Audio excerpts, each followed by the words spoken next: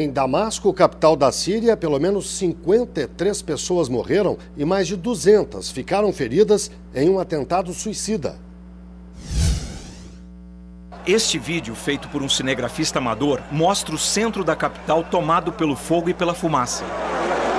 A explosão do carro-bomba abriu uma enorme cratera no asfalto e destruiu dezenas de carros. Provocou estragos em uma mesquita, na sede do partido Baath, que governa a Síria há mais de 50 anos, e na embaixada da Rússia, um dos poucos países que ainda mantém representação diplomática em Damasco. Outros dois carros teriam explodido no norte da capital. O governo acusou terroristas pelos atentados.